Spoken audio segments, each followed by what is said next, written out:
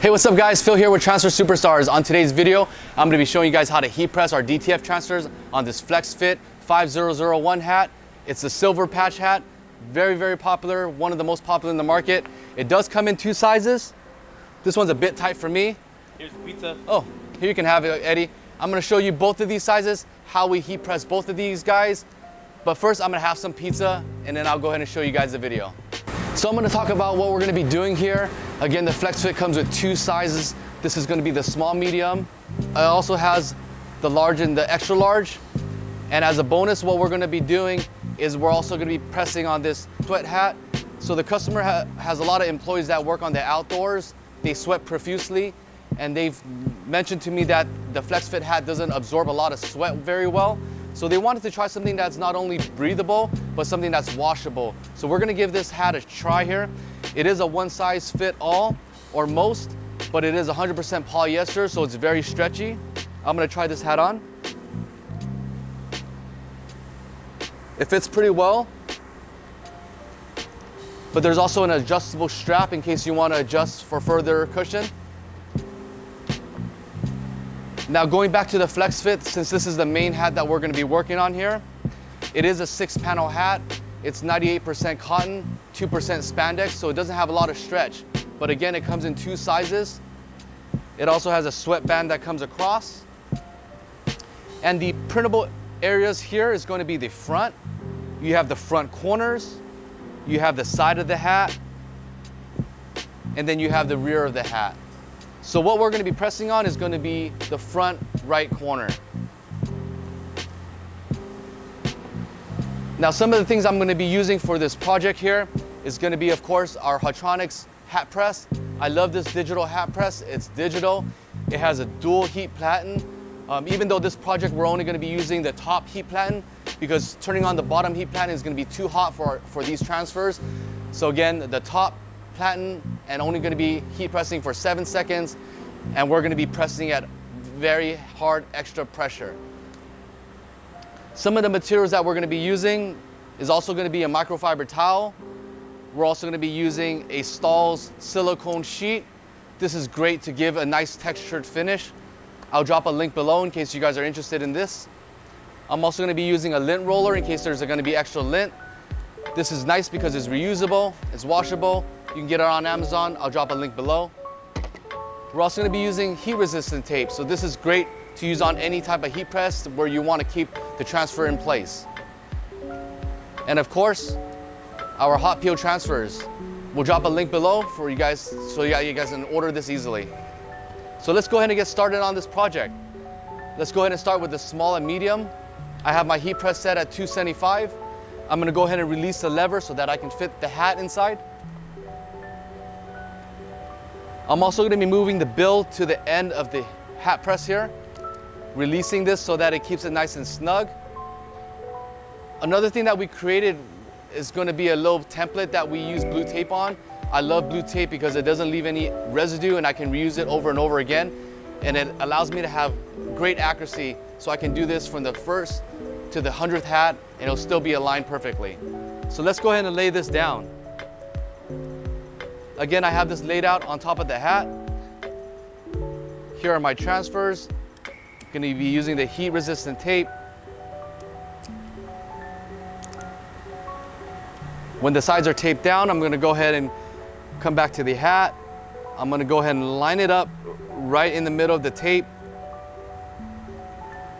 And I'm going to go ahead and remove the blue tape template. I'm going to go ahead and press for seven seconds.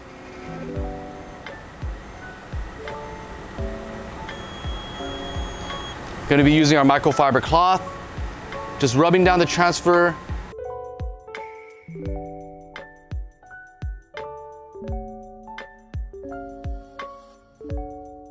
And peel. And for this particular hat, I'm not gonna do the double press. I'll show you guys the difference between using this and using the Stahl's silicone paper or silicone sheet. So we'll press the second hat. One thing I did forget to mention is make sure you guys are removing the cardboard insert. Set the hat. Set the template.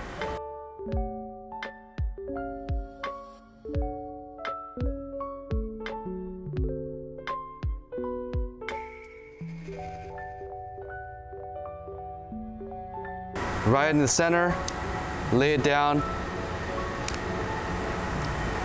remove the template,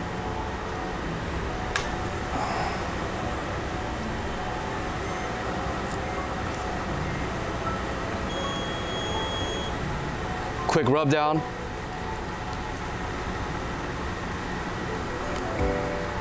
Go to go ahead and peel.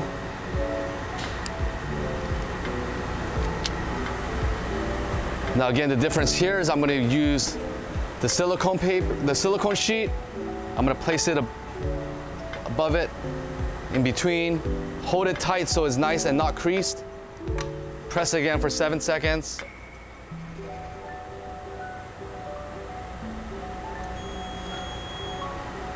Again, I have this set at high, high pressure. And it's gonna create a screen printed finish, which is a nice textured finish that a lot of people like. The last thing I wanna do is I'm gonna heat press this head sweat. Very stretchy material.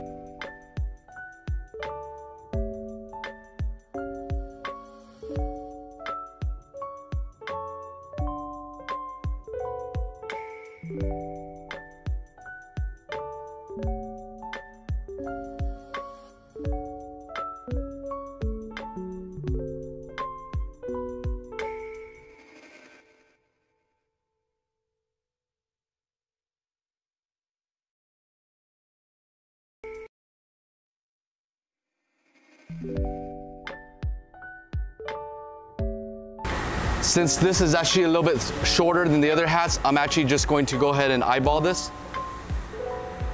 I think it's gonna be a better finish.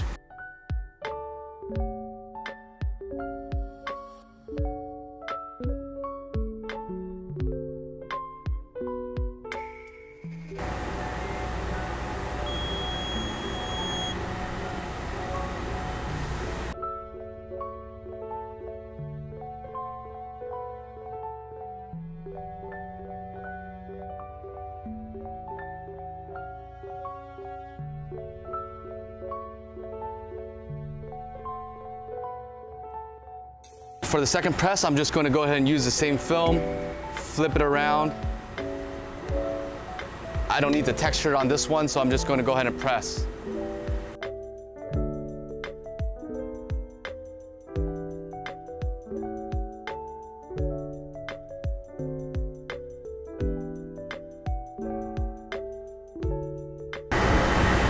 There you go.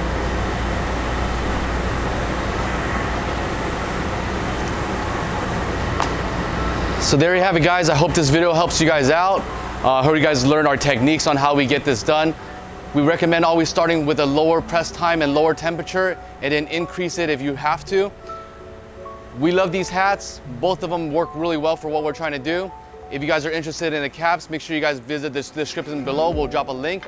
We got this from alphabroder. Another quick tip, if you guys are purchasing from alphabroder, there's free shipping for orders over $150. So make sure you guys take advantage of that. Again, thanks for checking this out. I'll, I'll catch you guys on the next one.